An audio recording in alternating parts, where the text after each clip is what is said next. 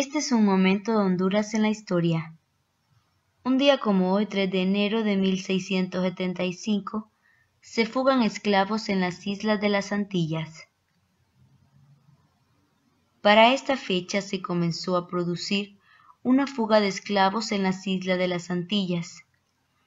Tras mezclarse con los caribes, se desplazaron hacia tierra firme, donde su mestizaje con las tribus indígenas dio origen a los garífonas, que pueblan hoy en día las costas de Honduras.